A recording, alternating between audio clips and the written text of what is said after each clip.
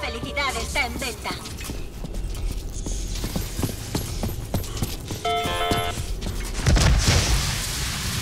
Carretera cortada. No veo nada alrededor. ¿Y tú, Triska?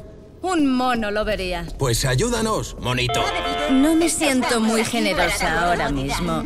Pero si lo descubrimos en los próximos 15 segundos, te concedo un deseo. Ah, te arrepentirás de haber dicho eso.